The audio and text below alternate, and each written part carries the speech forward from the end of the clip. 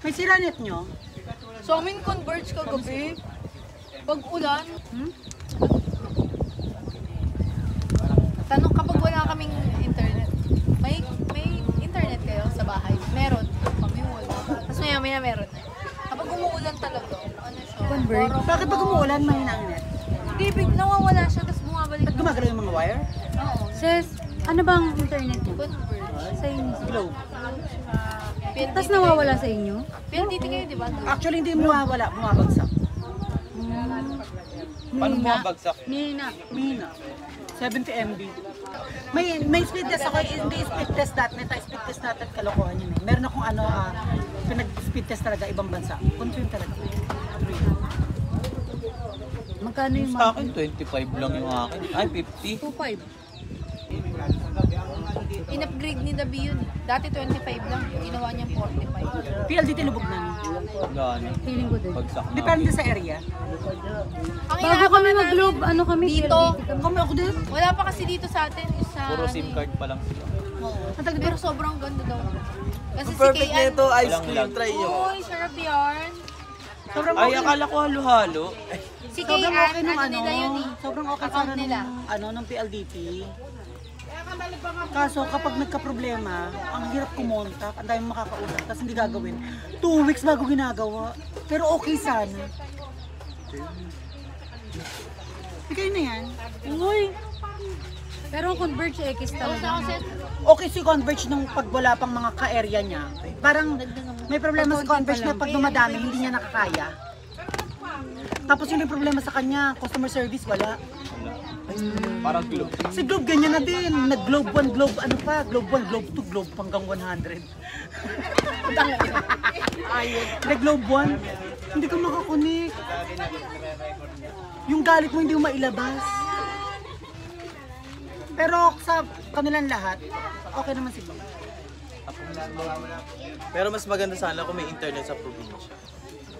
Dito Ano yung pinapromote ni, ano, ano yung pinapromote ni Du- Duterte dati? Parang, yung ang province mo, ang hahawak sa budget ng nakukuha sa tax ng probinsya mo. Ang tawag doon? Hindi ko alam. Ang tawag doon.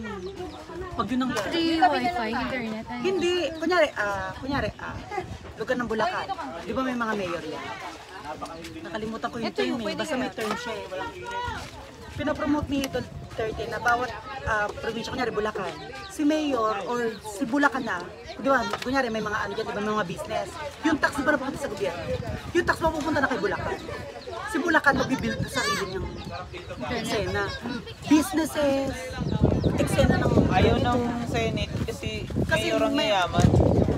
Okay lang mayor ang yumaman. Pan, pan, pero pa, paano kung nga mayor perfect? Hindi perfect ka. Ni Big. Kasi naman, Ni Biko. hindi ayaw pumayag sa Senate kasi Ba't kay Bicol, kukunti yung Ano sa din yun? kanila. Din si Biko.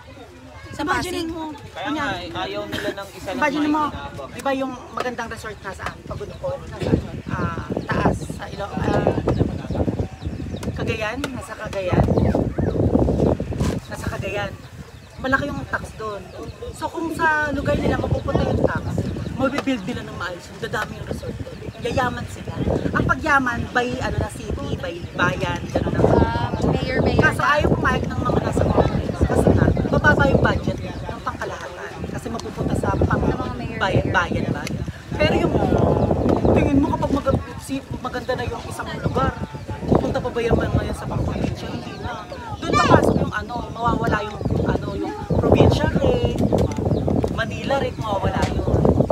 Malakas maka ano yun, tama yun, marami ako.